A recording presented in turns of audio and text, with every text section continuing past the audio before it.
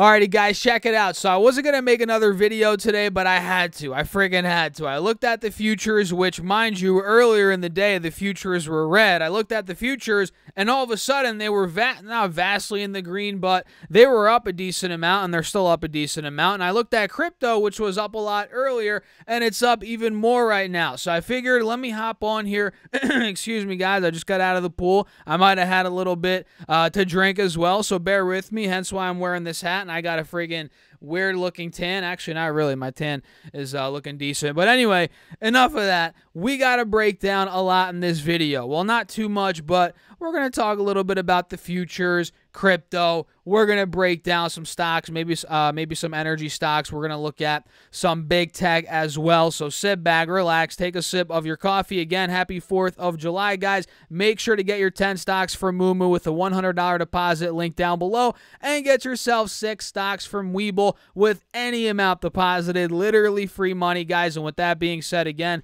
cheers. Happy 4th of July. And yes, I am sipping a coffee because you guys know how that goes. You're outside for a couple of hours in the sun. Yeah, you drink a little bit, you eat a little bit, you get tired you got to drink some coffee. So let's talk about what's going on. Again, it's currently uh, maybe I didn't mention it, but it's currently about 8 p.m. on the East Coast. We have the S&P futures up half a percent. We have the Nasdaq up three quarters of a percent. Dow futures are up point what is it 0.3 percent. As we have the S&P. Um, wait, did I forget? Whichever one I forgot to mention. You know, again, I might have had a little bit to drink today, guys. So uh, uh S&P half a percent. Either way, and you can see I'm losing my voice as well. Either way, we are up a decent amount, pretty nice in the futures with the Nasdaq leading the way. Now the Nasdaq is pushing up uh, about 0.8 percent. So we're moving up um, and clearly gapping out of where we were earlier in the day. If you guys recall in my video earlier today, the futures were down a bit. We're obviously breaking out of uh, you know those highs. And we can see here on the five-day, five-minute, the S&P futures are trading at fresh highs. Same with the Nasdaq futures. I'm assuming. Let's pull those up. Uh, yeah, pretty much. I mean, actually, not necessarily at fresh highs, but Nasdaq futures are taking out the highs from the past, uh, you know, couple of days here, and we're pretty much at the resistance from the end of June at about 11,750, 11,700. So these futures are looking pretty decent right now. I'm not going to lie, guys, but overall, we know that we are still in a downtrend in the grand scheme of things. But this is a good sign because, well, a good sign for the Bulls because if I pull up SPY, and you guys saw this when I um talked about it, right? Recently. I talked about it this morning, Friday. You know, I've been saying this a lot lately. We are seeing obviously some uh, profit taking here from when SPY went to 392 down to about 372 in just about a day or two, guys. And that was from the end of June to just a couple of days ago. We saw the profit taking, but we're also getting buyers coming in because we're noticing clear support on the 20 day chart here on SPY at about 375 and triple Q's holding right around 275. So now that we're getting that pop in the futures, and it doesn't mean that it's going to hold overnight. I mean, it might. And let's say it does hold overnight. If we go green tomorrow, there could be a potential breakout in store. And I'm telling you, if Triple Q takes 385 out, or 285 rather, which is why I have my alert there, there's going to be a pop. And if SPY ends up taking out, let's say something like 385, 383, hence why my alert is right there. That is where this could be making a move. And we have a lot coming up this week and in the next couple of weeks. We have the jobs report this Friday, which, according to the Dow Jones estimates, job growth likely slowed down in June with 250,000 non farm payrolls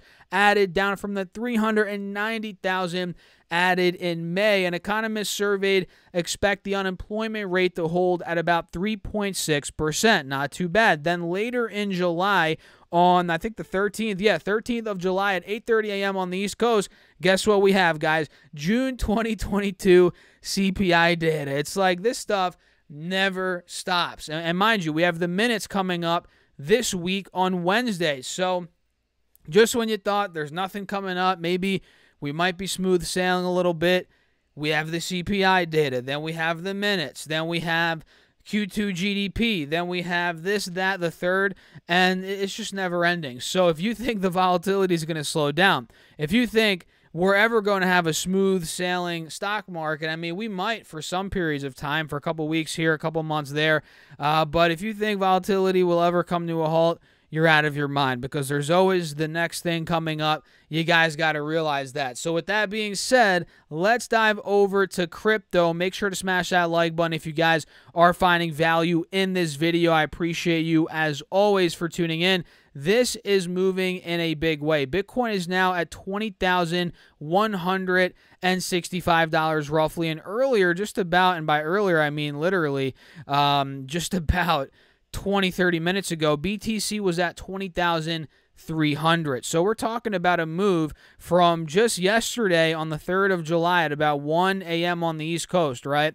Uh, literally at 1 a.m. This was at 18,750 it went all the way to 2,300, 20,300 just 30 minutes ago. So we're talking in just about a day and a half, almost two days, Bitcoin has made up a lot of ground. And you can see it's now over that 20,000 level, which psychologically, that's a big, uh, big critical spot for BTC. So it's looking good right now for the Bulls for sure. But do not be surprised if we do get some selling pressure coming in uh, pretty shortly here because we didn't, well, first of all, we didn't take that 17.5 low out yet, but we also have not broken out of the, uh, you know, resistance from just a couple of uh, days ago, about a week ago, which was right around 21.5. So we're kind of in this sideways trading range right now on BTC and pretty much for Ethereum as well. We'll take a look at that in a second. So we have to pick direction. You know, are we going to get a run past 21,500, which would be good for the Bulls, or are we going to crack back under 18.5, 18, then 17.5, which would obviously be good for the Bears? And uh, if I pull up Ethereum here, let's see what's going on on Ethereum right now. Yeah, same thing. It's seeing a bit of a rally. Okay, it's at 1150, solid, but it is still under 12, 1250, which was resistance from the end of June, and it's holding above 900, 950, 1000. So it's in this trading range of about two, 250 bucks.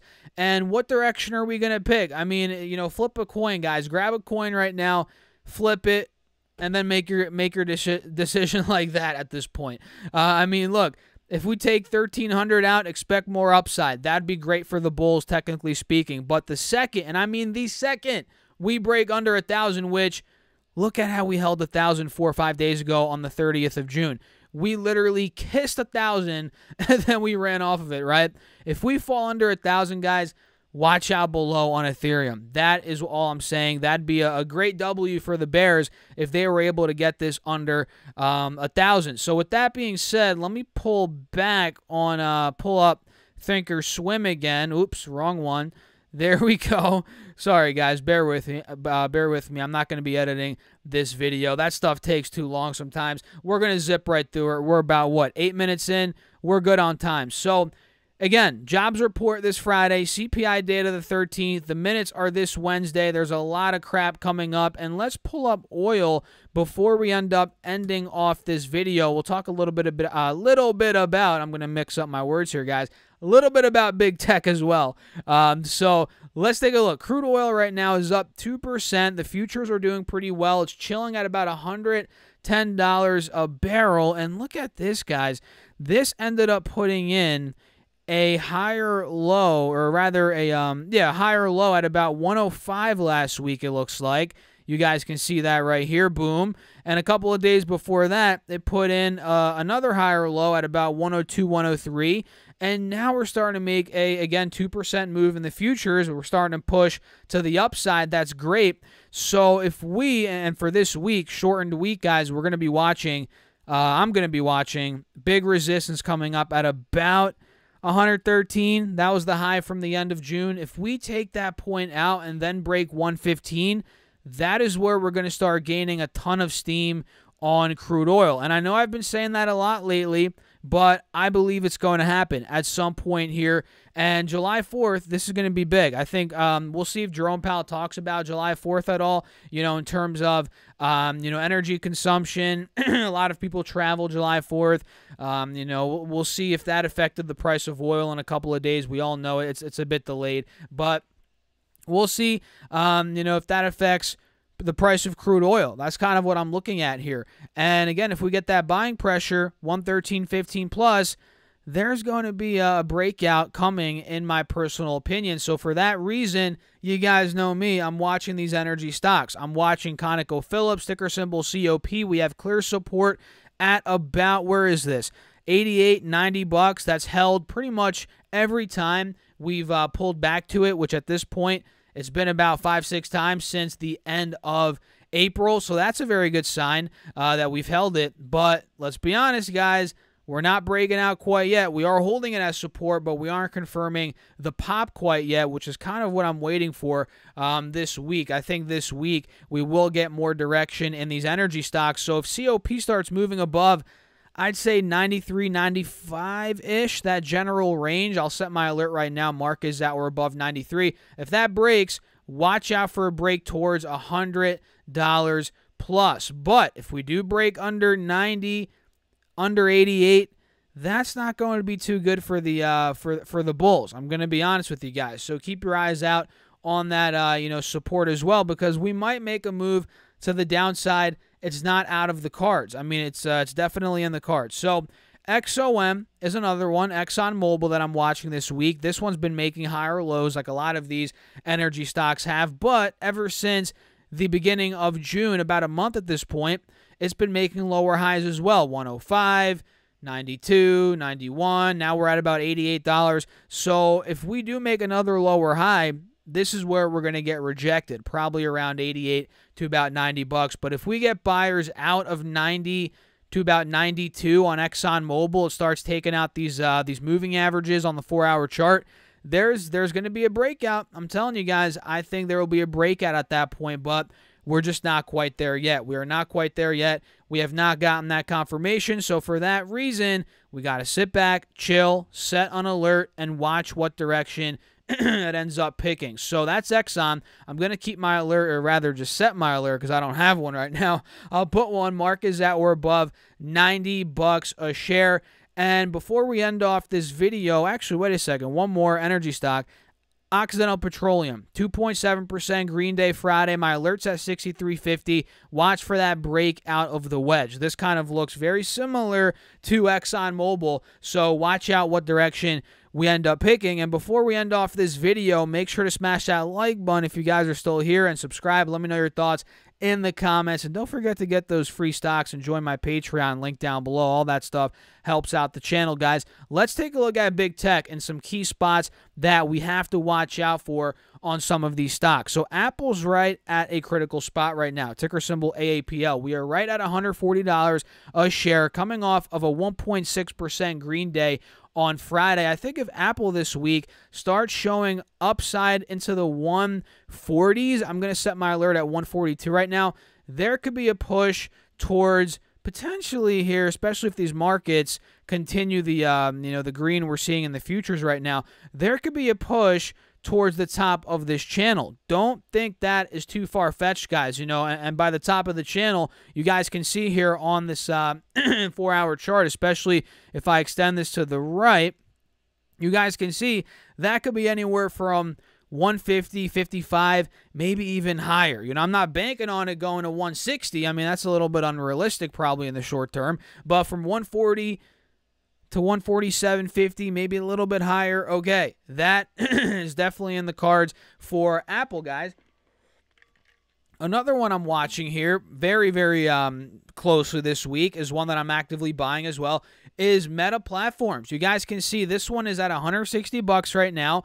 It just hit 153 in the end of June. If this takes out 160, which is very possible based on this chart, and it starts going towards that low 153, it takes that low out. goes into the 140s, I mentioned this before, I'll say it again, guys. That is where I will be buying more meta platforms, no doubt about it, no doubt in my mind. Microsoft is one that's also fighting to make higher lows. It has been over the past couple of weeks, but we're still making lower highs as well. You can see that clearly here on the four hour chart as I zoom in. So let's say Microsoft starts moving above I'll put my alert 261. If this starts breaking that point, all right, we might get more upside from there on that breakout. What other big tech stocks do we have? Amazon. Amazon's at a critical spot, I'd say. Um, you know, it looks like it's fighting to make higher lows. A lot of these guys, they've been rallying a little bit past couple of weeks um, overall since the middle of June, but in the past week week or so I'd say they've gotten destroyed as the overall markets took a bit of a beating. You guys remember that 2-3 day stretch. Um, so let's see if they uh, they rebound. That's pretty much what I'm looking at here. They're all uh, they're all you could say in wedges on this 20 day chart on the 20 day time frames. You can see here Amazon you can see Meta's kind of, and eh, not really in a wedge. Ignore Meta. Apple probably is, I'd say, yeah. So that is kind of what I'm looking at, guys. I don't want to be in here too long, but overall, currently, futures are up, and now we have the NASDAQ up almost 0.85% as the Dow futures are up 0.4%, S&P's up 0.6%, Russell's up 0.4%. So this looks very good by the looks of it. Let's see if it continues. Let me know your thoughts in the comments. Hit that like button, subscribe, join my Patreon, link down below, or go to stasserfes.com slash Patreon if you want to try it out. And do not forget to get your 10 stocks from Moomoo, each up to uh, 25, yeah, 2500 bucks with a $100 deposit. And you can get six stocks from Webull with any amount deposited. All of that is linked down below. And with that being said, cheers, guys. I will see you in the next video. I'm probably going to go uh, back to the pool. I'll see you guys in the next video. Peace out. And again, happy 4th of July, guys. Independence Day. See you tomorrow.